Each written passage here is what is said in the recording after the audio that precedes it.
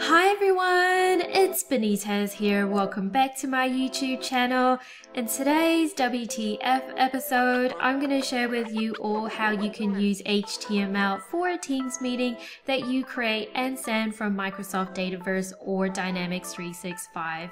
The agenda today will be me doing a quick recap of what I showed you in a previous WTF episode. Then I'm going to explain what the issue is, followed by the demo. Previously, I showed you how you can create and send a Teams meeting invite from Microsoft Dataverse or Dynamics 365 using a cloud flow. We were calling the Graph API so that we can create and send a Teams meeting invite based on the information in a Teams meeting activity record in Microsoft Dataverse or Dynamics 365. What I did show you in my last WTF episode was how you can insert line breaks from a multi-line text column for a Teams meeting.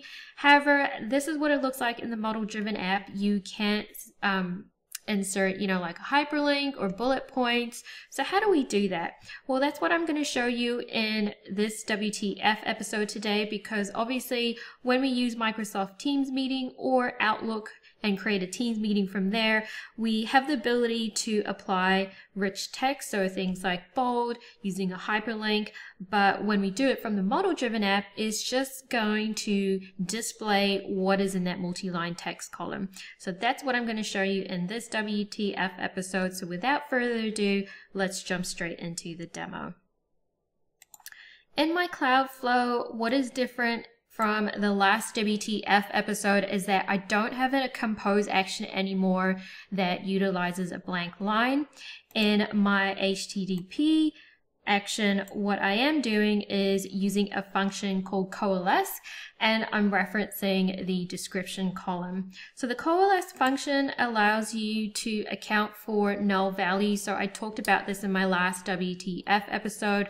Whenever you use an expression for a column, and if that column has a null value, it's going to result in an error in the Cloudflow. So by using a coalesce for this particular property, which is the content property of the body for the HTTP request, it's not going to cause the Cloudflow to fall over because we're using the coalesce function.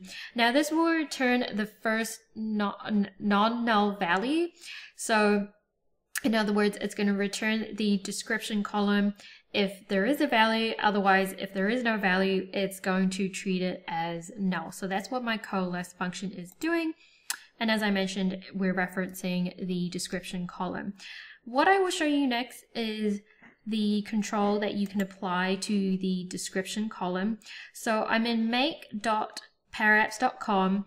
I have opened up the main form for my Teams meeting activity record. So this is what it looks like. And what I'm going to show you next is how to apply a control for that particular column. Now I'm going to switch from the modern experience to the classic editor.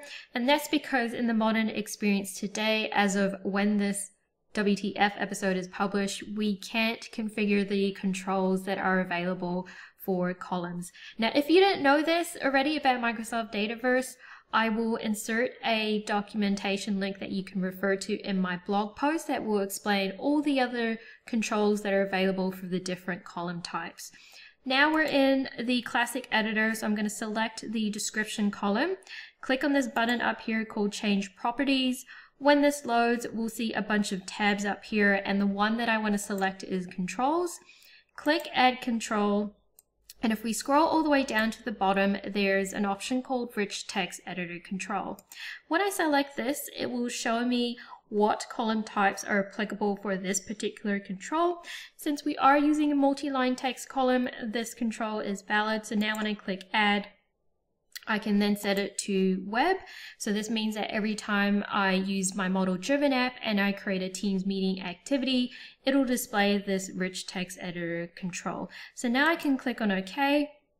I can hit save and then I can also publish the changes.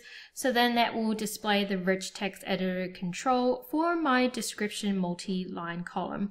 And then we can simply just use the WYSIWYG editor and insert hyperlinks. We can do bullet points and that way we don't need to use HTML tags. So for those of you who are watching, if you don't know the HTML tags to apply in the description column, this control is perfect for you. Okay, let's head to my model driven app.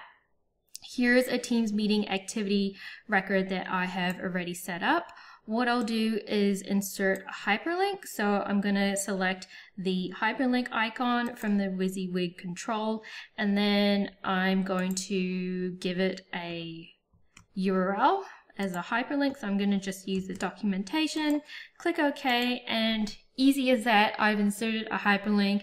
As you can see, I've also inserted um, numbered bullet points, and I've also formatted the text to be the font of Calibri and the size as 11. Now we're going to hit save and this will trigger my Cloudflow. Let's head back to Power Automate and check out the run history. Okay, so it successfully ran. Let's head over to Microsoft Teams and let's check out the Teams meeting invite. Perfect. As you can see that HTML has been applied, we can see that the font has been formatted to Calibri. When I click on the hyperlink, it should then pull up the documentation that, that I had provided as part of that hyperlink. So now it's showing me the coalesce documentation. So perfect. And then we can also see the numbered bullet points. Okay, so what I'll do next is create a blank one, so where the description doesn't have any values. And so that way you can see how the coalesce function works. Let's head back to Power Automate and check out the run history. We can see that it's running, it's been triggered, and it has succeeded. Now let's head to Microsoft Teams and check that Teams meeting out. Ta-da! And just like that, we successfully created a Teams meeting invite using HTML through the rich text editor control for the description column. I hope you enjoyed this WTF episode. Please don't forget to subscribe, like, and comment, and I will see you in the next one. Catch you later. Bye! Turn up. Let's, let's go.